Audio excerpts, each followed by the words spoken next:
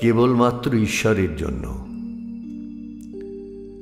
ঈশ্বর, তুমি বেশ ভালো আছো। তোমার সৃষ্ট এই জগৎ সংসার আজ নিত্য দ্বন্দ্বে জরাজীর্ণ, অতি শীর্ণ, অসার। তুমি শুধু চুপ করে বসে আছো আর দেখছ সব কিছু অনাসক্তভাবে। তোমার সৃষ্ট জীবজগৎ আজ দুঃখে দৈন্যে পরিপূর্ণ। ঘরে ঘরে আজ রোগ, শোক, অপমান অনন্ত। দুর্বল দলিত হয় শক্তিমানের নিত্য নবকৌশলে, আর ষড়রিপুর অগ্নিশিখায় সংসার নিত্য জলে। প্রতিদিন সংবাদপত্র জুড়ে তার বিভৎস বিবরণ হয় প্রকাশিত। দিনের শুরু থেকে শেষ, এমনিভাবে নরকে থাকি আমরা। তুমি অমৃতের শান্তি নিয়ে দেখো সব প্রশান্ত নয়নে। আর তোমার অমৃতের সন্তানগণ দুঃসহ যন্ত্রণায় কাঁদে।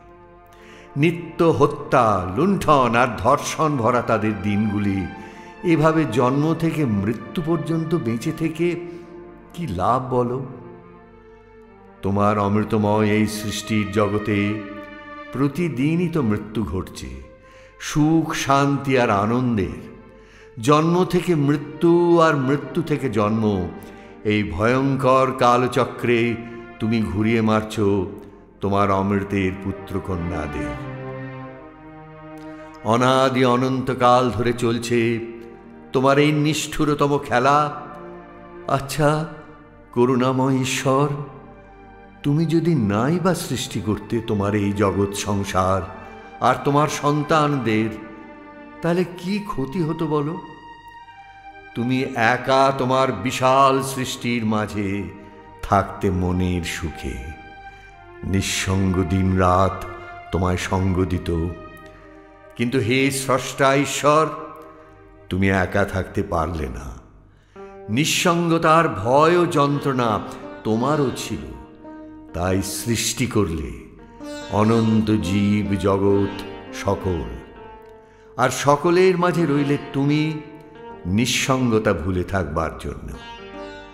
কিন্তু রইলে সবার অগোচরে পরম আনন্দ ভরে।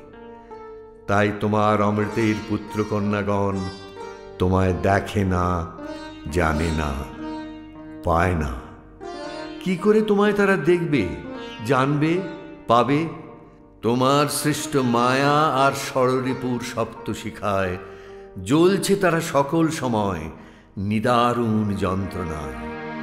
তুমি নীরবে আড়ালে বসে দেখো অমৃত ঘন হৃদয়ে।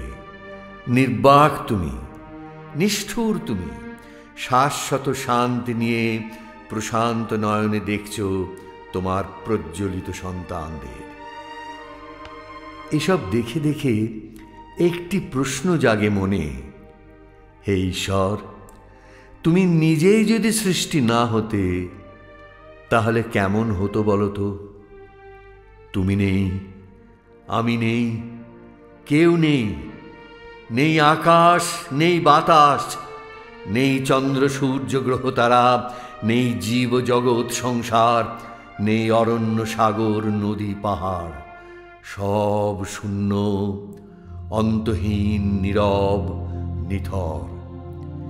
এই শূন্যতার পূর্ণতায় সব পরিপূর্ণ। এই পূর্ণ অব্যক্তের পরম আনন্দ ঘন রূপ জুড়ে আছে চারিদিক অনন্ত হর্ষে। তাই অরূপের এই অমৃত সাগরে সেই পূর্ণ রূপ অপরূপ হয়ে হাসে।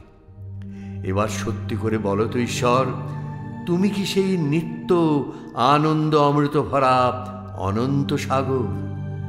অথবা তুমি কি সেই রূপাতীত, ভাবাতীত, কালাতীত সাগরের অসীম অনাদি অনন্ত সুর? ওঙ্কারের নিত্য মধুর অবিরাম ঝঙ্কারে তুমি কি নিত্য ঝঙ্কৃত ঈশ্বর অমৃত আননে হাসেন, আনন্দ মধুর কণ্ঠে বলেন, জানি, তোমার সকল প্রশ্ন আমারই জন্য। সে যে সব আমারই প্রশ্ন, সকল উত্তরও যে আমি। আমি নিরাকার, আমি সাকার, আমি জীব, জগৎ, সংসার। জন্ম, মৃত্যু, সুখ, দুঃখ হাসি, কান্না, সবই আমার। আমি ছাড়া কেউ নেই আর, তাই আমি, তুমি মিলে শুধু আমি আমি, তুমি।